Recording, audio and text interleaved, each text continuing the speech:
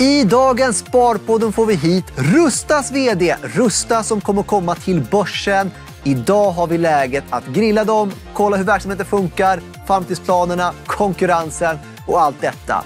Aktien kommer gå att teckna här på Nordnet på Företagshändelser. Teckningsperioden har börjat redan nu fram till den 18 oktober klockan 15.00. En sak med intervjun var att vi hade tekniska problem första minuterna av den, så de har vi tagit bort. Och eh, istället kommer jag berätta för er vad vi pratade om för att sen hoppa direkt tillbaks till intervjun. För att summera, vi pratade först om att Göran Westerberg, han är varmt välkommen till Sparpodden. Rusta menar han är, till skillnad från många som hävdar att de är lågpris, att Rusta faktiskt är lågpris på riktigt. Att de verkligen kämpar just med priset. När det kommer till varför de gör den här IPOn överhuvudtaget så är det att de har haft två grundare vars familjer har blivit ägarfamiljer.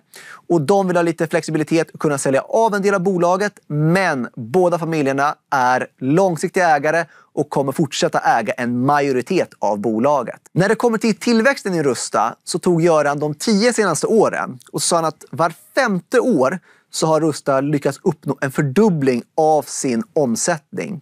Och genomsnittskunden på Rusta handlar där 27 gånger per år. När det kommer till konkurrens så har Rusta varit en aktör som konkurrerar med andra hela tiden. Och Det här är de vana med och har gjort hur länge som helst. Men när det kommer till direkta konkurrenter så finns det ingen som är exakt som Rusta som man kan säga är deras raka konkurrent. Ett Costco till exempel är mycket mer mat. Eh, där har de inte sett någon konkurrenstryck heller av att Costco kommit in i Sverige. Sen finns det ju jämförelser med till exempel Ikea, men Ikea är mycket annorlunda än Rusta i sig. Så det finns likheter med många olika aktörer, men ingen direkt konkurrent. Från konkurrens till förvärv. För några år sedan så gjorde Rusta ett förvärv i Finland. Och det bolaget de förvärvade hette Hongkong, som då var ett bolag som var konkursmässigt, hade röda siffror. Men tack vare synergier och Rustas modell så har de vänt från röda siffror till svarta siffror. Alltså man gör vinst. Och Det innebär också att de har verksamhet i både Sverige, Finland, men också Norge och Tyskland. Och nu ska vi tillbaka till intervjun där vi pratade om storstäder versus småstäder. Var finns de här Rusta-varuhusen? Vi finns nästan överallt. Vi finns på små orter och nästan hela vägen då till, till mycket stora orter. Vi finns dock inte i innerstadslägen i Stockholm just nu. Och det var mm. faktiskt något vi pratade om innan mm. intervjun började. Mm. Och då frågade jag eh, om ni inte ska göra som ÖoB och ha sådana här innerstads... Uh, ja, men vi vill, gärna, ja, vi vill gärna in. Men jag, jag, kan säga så här, en, en bärande del hos Rusta det är ju att vi ska ha ett koncept. Vi tror väldigt mycket på enkelhet. Att man gör samma lika hela tiden. För i det så finns det skalbarhet och stordriftsfördelar. Eh, så att vi vill gärna ha större yta än vad till exempel ÖoB har tagit därför att vi ska få in så mycket som möjligt av vårt sortiment. Det är inte lätt att hitta sådana lokaler i Stockholms innerstad. Framför allt inte till hyresnivåer som eh, vi vill ha. Så att det här är någonting som vi, vi letar efter men vi har inte hittat någonting där än där vi, som vi tycker passar riktigt. Men är inte marknaden på väg att gå dit ni vill? Det känns inte så jättelätt. Ja, jag tycker ju det. Jag tycker det. och, eh, kan säga, alla fastighetsägare håller inte med mig än i alla fall. Men, men vi, jag, tror, jag tror precis som du att vi är på väg åt det hållet. Ja. Mm. Och då kan det bli aktuellt för en oh sån ja. Eh, expansion. Oh ja. Oh ja. Och på tal om expansion då. Mm. Okej, okay, ni har gått eh, förvärv i Finland, mm. ni finns i Tyskland, ja. ni finns i Norge och så vidare. Um, förutom innerstäder, mm. vad är nästa steg för er? Vad är liksom planen kommande fem åren? Nej, men mycket handlar ju om att penetrera de marknader vi har fortsatt. Det är ju eh, man kan säga att tar man de mognaste marknaderna här i Sverige då har vi Stockholm till exempel. Men det handlar också om att vi blir ju mer och mer ett, eh, vad ska jag säga, ett, sånt där, ett hushållsnamn. Man, man går till Rusta helt enkelt och i takt med att den penetrationen ökar så gör det att vi kan gå ner på mindre och mindre orter men också att öka etableringar på städer där vi kanske kunde ha Eh, en eller två butiker kan vi ju med tiden då ha tre eller fyra butiker så att det går att öka på det viset. Sen tar vi de här andra marknaderna vi gått in i, Norge och Finland och naturligtvis Tyskland. Ja, där finns ju jättestora möjligheter för oss att, att eh, öka antalet butiker. Eh, våra stora konkurrenter i, i Norge och Finland, ja, de har ju hundratals butiker där medan vi har 40 ungefär i Norge och, och i Finland vardera då. Så att vi har ju jättemycket plats kvar att, att växa. Och Tyskland naturligtvis är ju fullständigt enormt. Men är konkreta planen för Rusta att bli en europeisk gigant när det kommer till lågprisvaror? Ja, absolut. Det är, och det är inskrivet i vår vision. Det är det vi vill. Vi tror inte att det finns någonting riktigt som Rusta nere på den europeiska eh, liksom, kontinenten. Eh, och unikiteten ligger ju inte liksom bara i det låga priset utan det är att vi har paketerat konceptet med en kvalitetsnivå, med ett kundmöte, med inspiration, med, med, med liksom en bredd på sortimentet som inte riktigt finns där. Alltså backar man några år i tiden så var ju lågpris samma sak som en en, en plats för en prisjägare som inte hade något annat val. Liksom ett basarliknande rörigt med lite tveksam kvalitet. Jag skulle vilja hävda att Rusta verkligen har varit en del att förflytta lågpris till någonting som hela medelklassen tycker är okej, som är smart. Där man kan gå in och, och spara pengar. Du, du, går till din matbutik och så går du till Rusta och sen har du löst över 90 procent av vardagsproblemen. Vi ska ta en fråga som jag tycker är intressant på just det här mm. temat. Mm. Eh, Jimbro undrar, mm. Det är viktigt för butiker att innovera och satsa pengar på framtiden. Ja. Eh, vad har Rusta för planer framgent? Och här tänker jag liksom i butikerna. Ja, är det ja. självskanning? Är det, jag vet inte, vad, vad är det? Ja, precis. Ja, men det, det, det, är ju en av de grejerna. Men man, man, man, kan väl säga så här att eh, en, en väldigt viktig del av vår framgång har varit att hela tiden investera i varuhusen och i koncepten. Och det kanske inte alltid är de stora teknologiska landvinningarna eh, utan det kan vara små steg hela tiden. Men eh, jag tycker att ett vanligt misstag det är att man lägger pengar på en ny butik för det är kul och så glömmer man den gamla butiken. På Rusta så är den äldsta butiken är ungefär fem år gammal, senast senaste renovering eller uppbyggnad. Att hålla ihop kundmötet och att hela tiden hitta nya små saker. Så att vi har en avdelning som hela tiden jobbar med hur köper kunderna? Hur går man? Hur tänker man?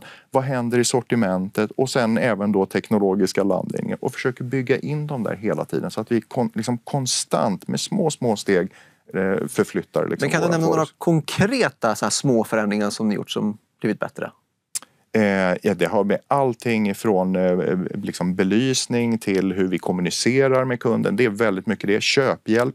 Vi vill ju att vi ska ha en ganska, ska säga, en Eh, köp, alltså att hitta och handla ska vara enkelt. Du ska inte behöva fråga personal. Så att väldigt mycket utav, utav eh, liksom kundvarvet bygger ju på tekniska eh, liksom köphjälpar där du, där du kan välja din eh, eh, färg eller planera för eh, liksom, din inredning eller rummet och så vidare. Alla de här sakerna som, som, som så att säga hjälper med det. Så att det här med självskanningskassor det är absolut en grej som vi, vi, eh, vi tittar på. Eh, så. Men mycket annat handlar egentligen om liksom små saker. Retail is detail. Det handlar om små beteenden och stora kundströmmar. Vi hade förra året 40 miljoner kundkvitton till exempel. Det är ju enorma liksom flöden. Så att små liksom skruvar på hur vi, hur vi för fram en artikel kontra en annan, hur vi vrider lampan, hur vi kommunicerar, hur vi leder kundflödena. Ja, men det ger stora, stora effekter på, total, på sista raden. Jag ser att du är engagerad. Ja. Det är verkligen ja. jättekul. Och eh, man brukar, vi har haft hur många gäster så här som helst som är på investerarsidan och säger att eh, det är viktigt att lära känna personerna bakom bolaget och det är avgörande. Mm. Så vi ska lära känna Göran Westerberg. Okay. Eh, tittarfråga till dig är, mm. vad handlar du själv på Rusta? Allting som man kan handla på Rusta ser jag till att handla på Rusta. Det är liksom min princip som jag har. Finns det inte där, då är det okej okay att handla någon annanstans. Men annars så ska jag köpa det där. Och det tror jag en viktig del i det för mig, det är att jag själv ska gå igenom köpupplevelsen när någonting inte lirar, när jag kanske inte är nöjd med någon produkt eller, med, eller jag tycker att vi kanske inte har kommit så långt som vi vill med, med priset eller någonting. Jag, jag, det är sättet för mig att få data också. Känner butikspersonalen, känner de igen dig? Jag tror på många ställen, kanske inte överallt, men jag tror på många ställen så gör de det. Jag, jag, jag tror att jag skulle ha svårt att vara inkognito på liksom ett varuhus. Då ska vi testa dig. Ja, okay. eh, så att, eh, det här har du inte fått förbereda, ska sägas verkligen. Nej. Eh, utan jag har tagit ur er veckans kampanj. Ja. Lite kampanjvaror. Uh, ja. Då ska vi se här. Eh, Head and Shoulder, stor mm. flaska, 400 milliliter. Vart tar ni för den? Eh, jag skulle vilja hoppa... En, stor, en, en 400 milliliter eller en... 400 milliliter. 400 milliliter. Eh, jag skulle vilja hoppas på att det var 29,90 kanske. Eh, 39,90. Ja, vad synd. Eh, vi tar dammsugaren. Ja. Eh, ja, vilken är det nu då? Oh, det är, den heter Silence, den här. Ja. Och den är testvinnare, testfakta-verifierad. Precis. Ja, undrar, kan vi ha gått ner, på, kan vi ha gått ner under tusenlappen på den? Närmare behöver jag än så. Närmare än så? Ja, du... ja, 995 då säger vi. Ja, det var lite billigare än så. Ja. 899. Ja, det var bra. Ja. Det var jäkligt bra det. Eh, ska vi se här. 24 pack toalettpapper. Är det Refin eller? Refin ja. ja. Ja. bra. 24 packen på den. Och de har ju gått upp i pris men eh, där, hoppas jag, där hoppas jag också att vi ligger under 100-lappen. Så jag, säg 99 då. Ja, det är helt rätt. Ja, bra. 99 och Ja, 90. bra. Ja. Och sist men inte minst Listerin. 500 milliliter, alltså en halv liter Listerin, storpack liksom. Ja, storpacken på den. Ja, där är jag, jag använder ju inte jag den där själv men ehm, jag säger 19. Ja, det var nära. 29,90. Ja, Så att eh, de stora artiklarna, de som var lite större, hade du närmare på. Eh, men eh, ja, så att... jag fick- håller på med börsnotering. Ja, exakt, exakt. Ja, det är bra. Ja. Eh, och, eh, så toalettpapper och dammsugaren Mm. Ja. eh, får du från mig. Och på det så Mm. undrar jag också, eh, hur kommer det sig att du blev vd? Oj. Ja, det var inget mål, verkligen inte. Utan, eh, och det var, och jag, ville, jag, var, jag var ofrivillig in i detaljhandeln också. Uppvuxen i en småföretagarfamilj, men mina föräldrar var antikhandlare. Så jag, jag skulle ju hålla på med något helt annat. Så jag pluggade ju för att göra något annat. Men sen så blir det no, jag, jag tror att det är någonting jag gillade med detaljhandeln som hade att göra med att det är det, det är lätt att förstå och det handlar om människor, det handlar om vardagen och, det, och sen är det någonting med kommersen, det här köpa sälja som jag verkligen tyckte om. Eh, och sen så blev det väl egentligen mer slump tror jag att det blev vd. Jag träffade grundarna till Rusta och då hade jag hållit på, jag hade bott ute i Asien, hållit på med inköp för Ikea. Jag hade bott nere i Älmhult för Ikea, jobbat med, med, eh, med sortimentsutveckling. Jag jobbat på ICA, varit i butik och varit, eh, gjort egentligen allting. Så att på något sätt så, så kan man väl säga att efter att ha varit i alla delar utav kedjan, alltså köpa, sälja och sortiment, så var det ganska naturligt kanske att, och när man nu fick chansen att, att eh, sätta ihop lite sina lärdomar och sina, eh, ja, sin, sin kunskap i det här, hur man, hur man skulle kunna förflytta en hel kedja. Men hur involverad är du som person liksom, i företaget? Är det så att du kollar på så här, veckans reklamblad och tycker till och det här borde vara så och det här borde vara så eller låter du dem sköta det? Jag, jag är nog, alltså, kampanj är ju en viss pro process eh, som jag liksom, där det finns ett maskineri som jobbar och så vidare. Jag tror att jag är nog mer som person eh, intresserad av sortimentet. Liksom, hur föder vi en ny produkt? Vad vill folk ha idag? Vad vill de ha imorgon? Vad är nästa grej? Så jag älskar ju att åka ut till leverantörer, att vara med på mässor, att titta på liksom den typen av produkter. Att vända och vrida på det. Vad händer om du har det här priset istället? Måste man ha en färg till? Eller kan vi göra det här enklare? Kan man ta bort förpackningen? Alltså det där tycker jag är otroligt spännande och där försöker jag vara med så mycket som möjligt. Och Du har varit inne lite grann på att du har jobbat med inköp och så. Mm. Och det kan jag tänka mig finns en skalfördel Ja, för er. Eh, ju större ni är den desto... viktigaste. Ja. Mm. Berätta, hur st- står ni där och hur är det liksom när det kommer en Costco som måste också ha skalfördelar? Även om Ja. jag inte vet hur det Nej, förs precis. vidare till liksom Sverige när de Ja. har upphandlingen i USA och så. Ja, nej men eh, absolut. Nej, men det- jag kan säga det att du kan inte sälja någonting billigt om du inte köper det billigt. Det är liksom, så är det. Och då måste du rigga hela systemet på ett sånt sätt så att du blir stark i förhandlingen. Och hur gör man det? Jo, det är ju dels genom att köpa väldigt mycket utav det du ska. Volym är superviktigt. Och hur når man det då? Ja, förutom att bara öka försäljningen hela tiden, jo då handlar det om att hålla sortimentet så tajt som möjligt. Få artikelnummer och driva upp försäljningen per artikelnummer så mycket du bara kan. Det är ju inte lätt när man har samtidigt ett väldigt brett sortiment. När man säljer allt ifrån toapapper till eh, liksom, eh, färg och mattor och inredning och sånt. Precis. Men det är det som är tricket. Och där kan man säga att där har ju vi också lärt en hel del från företag som till exempel Costco. Costco är jätteviktiga, eller duktiga på det. Att ha eh, brett sortiment med få artikelnummer och så driva upp volymen. Så att eh, nyckeldelarna för oss det är ju att eh, utveckla produkterna på ett sånt sätt så att det passar produktionslinor. Alltså titta på konstruktioner, titta på dimensioner, titta på vilket material som går in. Hur kan man förenkla det? Hur kan man göra det ännu mer rationellt i produktionen? Eh, äga så mycket som möjligt utav eh, designen och varumärket som möjligt därför då tar du bort mellanhänder.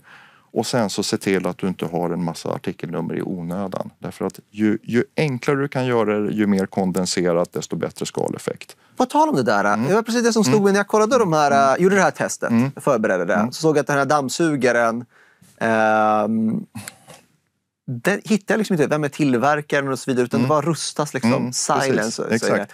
Är det alltså på ert eget varumärke utan att vara liksom tydligt utåt att det är ert eget varumärke? Eller hur funkar det där? Ja, precis. Men vi jobbar ju med något som man kallar för private label, alltså egna varumärken. Och det kan vara allt ifrån att det är tydligt att det här är Rusta som är så att säga, det, det är varumärket på produkten. Men det vanligaste hos oss det är ju att vi utvecklar egna andra varumärken. Så att köper man, eh, ja, nu pratar om Refin toalettpapper till exempel som du tog upp. Refin det är ett av våra egna varumärken. Eh, vi har Nofo som är Nordic Formula som är skönhetsprodukter, tvål, hygienartiklar. Eh, det här finns på tapeter, det finns på målarfärg, det finns på, på heminredningsprodukter och så. Så att egentligen allting utom eh, sånt här som Head and Shoulders och, och Elvital och så vidare. Det är Rustas egna varumärken. Och varför är det bra för kunden? Jo, därför att vi tar bort mellanhänder och då kommer vi ner i pris. Men är det ett mål ni kommer ha framgent för att öka lönsamheten? Att ja, det är vi. konkurrera med era egna varumärken? Ja, och vi är ju redan, vi är redan idag bäst av alla lågprishandlare. Vi har ungefär två tredjedelar av vårt sortiment är under vårt egna varumärken och jag tror att det är ungefär dubbelt så mycket som den näst bästa. Eh, och det här är både ett sätt för oss att skapa lönsamhet men också att leverera på lägsta pris. Så det, det, är jätteviktigt och det här, det här vill jag väldigt gärna att det fortsätter att öka. Mm. Men om man eh, tar motargument med det så är det mm. att man förstör lite grann eh, mångfalden av olika varor. Nej, tvärtom tycker jag. Jag tycker att man ökar i den. Därför att det är ju det är, det är precis det som har varit lite problemet tycker jag nästan här i, här i Sverige. Vi har ju varit traditionellt så väldigt, väldigt lojala mot eh, varumärken. Eh, tar man på matsidan till exempel så vet jag att på, på, på Lidl och nere i Tyskland där, man har haft kanske 70 procent egna varumärken. I Tyskland är det här mycket mer accepterat och det är en mycket mer utvecklad marknad än i Sverige. Medan man här i dagligvaruhandeln kanske har legat på ungefär 25, kanske uppemot 30 procent andel. Så att jag tror ju att ju fler kedjor som kommer och som utvecklar egna alternativ, ja då ökar ju varumärkesfloran. Då får du ju mer saker att välja på. Men blir det inte så att alla butiker har, om de har sina egna så eh, försvinner lite grann konkurrens? Eller jag tänker så här, Marabou kommer ju ha svårt att konkurrera mot er egna choklad. Exakt, och varför kommer de göra det? För att ni har ju... ja, men det blir ju för att de behöver ett högre pris och sen så blir det en mellanhand mindre för er. Ja. Ja, det, jag tycker, det, jag tycker ja. det är bra. Nej, men jag tycker att det handlar ju om att ge, ge kunden valmöjlighet, testa. Och gör andra ett bra jobb och utmanar de här stora varumärkena på en produkt som är lika bra eller kanske till och med bättre, ja varför inte? Ja, jag köper det. Jag köper det. Då går vi vidare till eh, en eh, till tittarfråga. Vi har fått hur många som helst. Mm. Eh, så här. Utdelningspolicy? Mm. Frågetecken. Ja. Vad, vad ser ni där? Är, du har ju stora planer. Ja. Det ska bli en europeisk gigant. Mm. Kräver inte det kapital? Vill jo. man då göra utdelning samtidigt? Ja, det gör vi. Men vi, vi, vi, vi har vår utdelningspolicy nu enligt de finansiella målen som vi har satt till 30 till 50 procent utav, utav vårt resultat. Och, eh, och då har vi tagit höjd för att vi ska kunna fortsätta att investera i våra butiker, att kunna öppna nya eh, liksom varuhus på, i, på nya marknader. Eh, men också fortsätta att effektivisera i till exempel vår logistik och så vidare. Så att vi kommer att göra utdelningar på upp till hälften av resultatet men fortsätta att vara skuldfria och finansiera våran tillväxt. Så det, det är så att säga tagit höjd för i våra planer. Mm. Och för att kunna göra det så mm. behöver man en eh, marginal. Och Jaha, eh, sist så hade ni väl eh, i senaste kvartalsrapporten, mm. ni har ju brutit räkenskap. Exakt, från Q1, första, första maj till sista april. Ja. Precis, så Q1 är ju inte eh, januari, februari, mars. Då. Nej. Men i eran Q1, det här brutna räkenskapsåret, mm. så hade ni 42,7 procent ja. i bruttomarginal. Ja. Generellt sett, så, utan att jag kan den här branschen jättebra, så spontant tyckte jag det lät väldigt högt. Mm. Eh, men är det så högt och eh, hur känslig är den här marginalen? vi tycker inte att den är hög. Alltså, utifrån eh, vår historik. Vi har, vi har historiskt sett legat ett, ett, ett par, tre procentenheter högre än det här faktiskt. Eh, utan eh, nu kommer vi från en period då när vi har haft under pandemin så gick ju transportkostnader upp, eh, inköpspriserna gick eh, upp och så vidare och det satte ju en press på det. Sen kom vi ut ur den och då hamnade vi i inflation istället och så fick vi en kund som var jätte, jättepressad.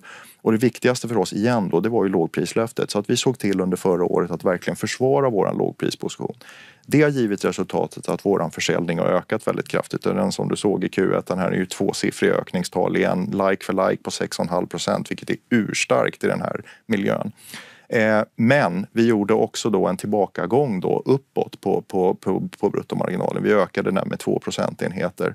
Och det för oss är en resa tillbaks till våra så att säga, historiska nivåer. Och det har vi kunnat göra dels därför att eh, transportkostnaderna har gått ner, eh, inköpspriserna har börjat gå ner eh, men också att vi har en väldigt stark prisposition ute på marknaden vilket har gjort att vi har också kunnat så att säga justera våra utpriser utåt. Och nu, mm. Kanske lite halvt långsökt, men jag tycker mm. inte det nödvändigtvis. Eh, vi har fått ränteökningar här mm. och folk har det tuffare och så vidare. Mm. Att folk får det tuffare brukar ju vara dåligt för eh, typ allt som folk konsumerar. Mm. Men gynnas ni av att folk får det tuffare genom att folk är mer benägna att gå till en lågpriskedja? Eh, eller hur ser du ja, på det? Men, ja, precis. Ja, hur ser jag på det? Jag, jag, brukar säga så här, om jag får välja på en högkonjunktur och en lågkonjunktur, ja men då väljer jag en högkonjunktur därför att det är bättre. Det är bättre för alla. Eh, och då finns det mer pengar i systemet och så vidare och det, det, det, det är bra för Rusta också. Eh, lågkonjunktur är inte lika bra men det är minst dåligt för Rusta av just det skälet som du är inne på. Det är väldigt många då som ändrar beteende. Om du tänker i en högkonjunktur, vi säger att du, du handlar inte på Rusta och du har råd att handla någon annanstans. Om jag ska övertyga dig att komma till Rusta, ja då måste jag ju först hitta dig, vilket är svårt. Och sen så måste jag övertyga dig om att ändra beteende. Det är dyrt. Då måste jag ha väldigt starka kampanjer över tid för att du ska börja ja, gå tvärs över parkeringen och gå in på, på, på Rusta istället. Men i lågkonjunkturen nu, ja, nu letar ju du efter sånt som mig därför att du, du, du, eh, du har ont om pengar. Du sitter hemma vid köksbordet, och går igenom ekonomin och du tänker vad kan jag spara? Eh, man är villig att ändra beteende och det gynnar oftast lågprisalternativ. Och det här ser ju vi, så att vi ser ju att det är väldigt många människor nu som eh, kommer till Rusta som inte har gått dit tidigare. Men vi ser också att kunder som har kommit till Rusta tidigare, de kommer oftare och också att de handlar mer. Alltså de testar på nya kategorier. Man kanske bara har kommit för att köpa Head and Shoulders för det är ett varumärke man känner till.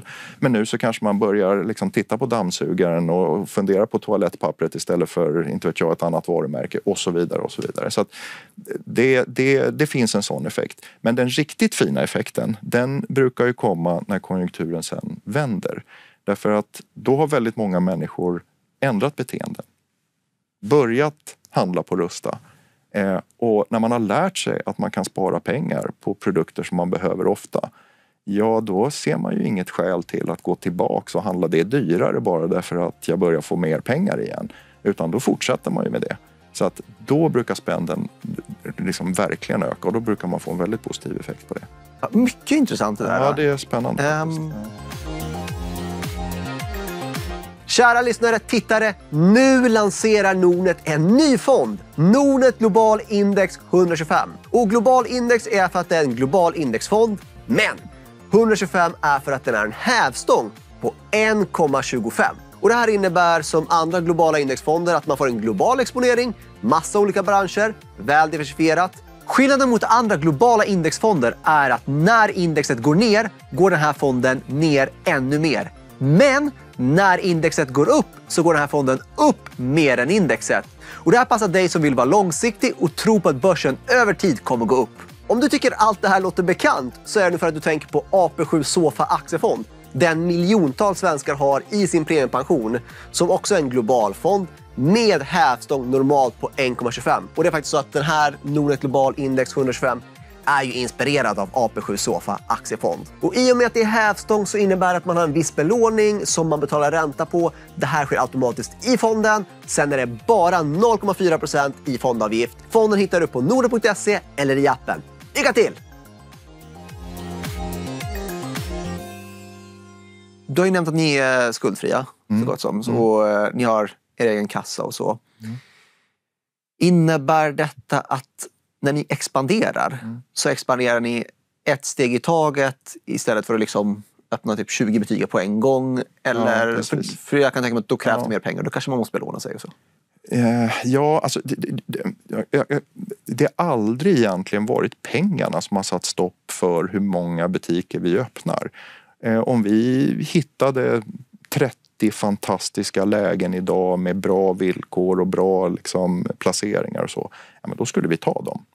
Eh, utan det som har satt ribban för det, det är att det måste komma upp då lägen som är eh, liksom så pass bra och så starka med rätt grannar, rätt placeringar och till rätt hyror då.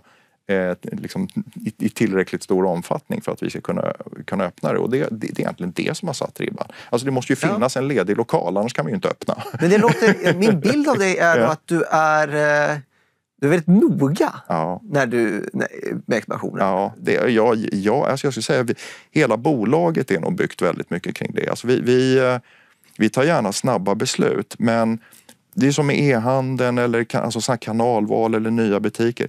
Vi tittar ju på varje sak var och en för sig. Alltså vi, vi gör ju inte någonting bara därför att alla andra springer i den riktningen utan ska vi öppna en butik i säg Stockholmsområdet, ja men då tittar vi på okej, okay, blir det kannibaleffekter? Vilka är grannarna? Hur är upptagningsområdet? Eh, vad är hyran?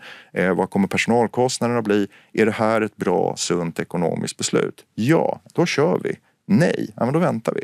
Alltså, vi, vi fattar inte beslutet på att nu ska vi ha 20 stycken butiker i Nordnorge och så bara hitta det som finns och så kör. Så jobbar vi inte. Det, det, för då, då binder man ris för egen rygg. Det blir bakläxa på sådana beslut. Och om vi mm. då tar eh, en annan fråga. Mm.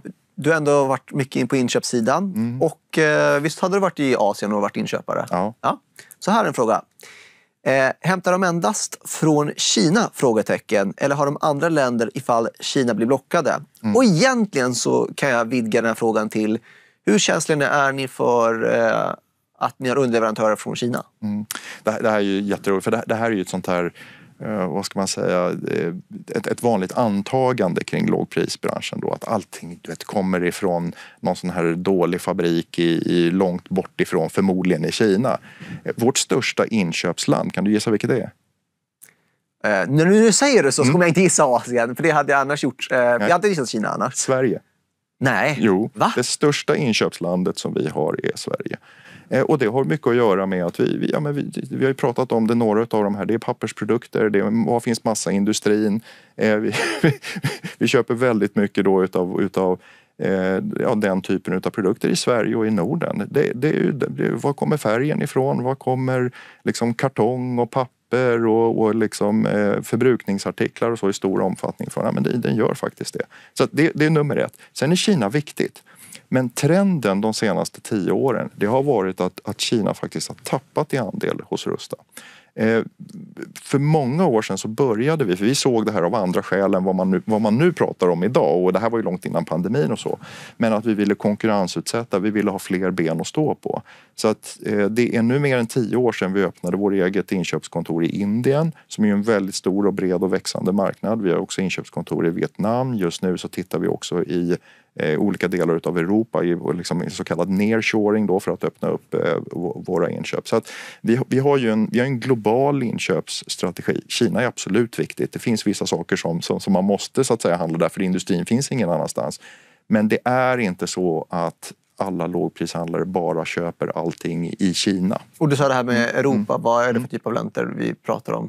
Nej, men det är ju jag kan säga, det, det, mycket i östra Europa men eh, det handlar ju också, vi, vi, vi, handlar i Schweiz, vi handlar i Tyskland, vi handlar i Frankrike, vi handlar i Belgien. Det finns eh, många av de här butik, eller liksom, eh, ska säga, leverantörerna. Och det, det, vill jag också säga, man, man får, man, här, många får ju lite bilden av att du vet, det är någon liten by och så sitter folk och håller på med någonting handjagat eh, när man levererar till lågprisbranschen. Alltså, ingenting kunde vara längre ifrån sanningen. De flesta av våra riktigt stora eh, leverantörer är ju, är ju världsledande. Alltså det är ju stora integrerade eh, leverantörer som levererar till några av de största företagen i världen. Det är Walmart och Costco och det är Amazon och det är eh, liksom, våra batterier köper vi på samma ställe som Tesla tillverkar sina batterier till exempel. Så att det här är ju, ska man vara, ska man vara konkurrenskraftig på en världsmarknad, ja då är det ju superfabriker. Det är ju oftast där vi är och där vi vill vara. Det är inte små liksom, eh, småskuttar. Men på tal om inköp. Ja, Eh, svenska kronan mår inte jätte, jättebra. Nej. Eh, och har inte gjort det på ett tag. Nej, precis. Och det måste ju vara lite jobbigt att tjäna pengar i kronor. Och om man, nu nu sa du att Sverige var största inköpslandet, så det mildrar kanske de effekterna. Men, men annars, Tyskland i euro, Schweiz nämnde du också. Ja. Ja, det måste ju vara jobbigt med valutan. Ja, Nej, men så är det. Vi har ju haft en konstant, det är ju ingenting nytt igen det här utan vi har ju haft en motvind i svenska kronor i tio år nu. Eh, Så att man kan säga att förändringstrycket och kravet på effektiviseringar för svensk detaljhandel, men den har ju varit, den har ju varit tuff hela tiden. Så det är klart att vi skulle ju hellre ha velat haft en, en, en stark eh, eller starkare svensk krona än vad man har idag. Så det är absolut en liksom, ja, en viss motvind som vi har haft hela tiden. Men jag ska säga så här, jag, jag hade nöjt mig med stabilitet. Bara det liksom hade, varit, hade varit jätteskönt. Så, Eh, Men ja. hur valuta, alltså hedgar ni valutor och sånt Ja, där? det gör vi. Ja. Det gör vi. Och det är framförallt dollarn då som är, som är kan man säga, den, den viktigaste då inköpsvalutan. Då, för det, internationell handel sker ju framförallt i, i dollar. Men det här med, som, du pratade om nu, att vi, vi eh, Eh, vi, vi finns i flera länder. Det har ju också gjort att vi har fått en annan mix. Det var ju tuffare förut när man köpte då eh, väldigt mycket mer än vad vi gör idag eh, i dollar och bara säljer i svenska kronor. Men nu idag så säljer vi, jag menar i Finland och i Tyskland så säljer vi i euro, i, i Norge naturligtvis i norska kronor. Och det har ju gjort att expansionen också gör att vi får lite mer spridda risker. Plus att vi då valutasäkrar. Så att det, det är ju också ändå, liksom, det är ändå bättre nu då Ja. än vad det har varit. Ja. Och jag, jag får ju inte missa den här frågan för att jag Okej. tyckte den här var så Nu speciell. kommer det något. Ja. Ja. Eh, Aktiepappa undrar. Ja. Rusta hade förr ett rykte om att vara kopplat till Livets Ord, den här kyrkan. Liksom. Det sägs att ryktet var påhittat spritt från en konkurrent. Ja. Eh, skulle vilja höra historien om det. Ja, precis. först och främst, stämmer det här? Eh, Nej, det stämmer överhuvudtaget inte. Det har aldrig stämt och det stämmer inte. Nej, och det är precis... eh, Alltså, Bengt-Olof och Anders som startade eh, Rusta. När de gjorde det i början så slog ju de mot en massa karteller och monopol och, och, och så vidare. Och det var ju såklart, man gjorde ju sig en hel del fiender. Eh, och och eh, så, som, så som jag har förstått det här efteråt så var det ju då några, några då utav de här som, som råkade illa ut. Några de började sänka priser och så vidare. Som spred ut det här då för att man inte ville att leverantörer skulle samarbeta då med, med, med Rusta. Men det är totalt båg. Och det är roligt, det där, det där dyker ändå upp lite grann ibland. Men vi är helt politiskt och religiöst obundet på alla sätt. Mm. Men eh, ja, det var en konkurrent som hittade på det. Ja, så. ja. Vem var konkurrenten? Jag, jag, jag är osäker på om det var en konkurrent eller om det var en leverantör. Ja. Men, men det, jag, jag var, det här är ju långt före min Ja. tid så jag, jag, ska, jag, jag, jag är fel person att hänga ut någon. Eh, avslutningsvis, Ja. eh, för nu börjar tiden rinna ut. Mm. Du kommer tillbaka till Sparpodden om tre år. Vad har hänt med Rusta från nu och tre år framåt? Ja, vi har ju växt jättemycket. Ni har Eh, växt vi- jättemycket? Ja, ja, vi har växt jättemycket. Vågar du ge en siffra? Eh, nej, men jag hoppas att vi har växt i linje med, med, med det som vi har gjort historiskt. Att vi, vi, har det- fått, vi har fått. Ja, då har vi ju dubblat vart femte år. Så på tre år så har vi ju inte hunnit med det. Då. Men vi har ju blivit, i alla fall, vi har ju öppnat många varuhus. Eh, jag, skulle, jag skulle tro att vi är huvudsakligen på de marknaderna vi är, vi är idag. Men jag skulle tro att vi också har ökat penetrationen ännu mer. Och jag tror att eh, vi, vi har förmodligen egentligen mer utav allting. Vi har högre försäljning per varuhus, vi har högre försäljning per artikelnummer. Eh, vi har ännu fler private labels.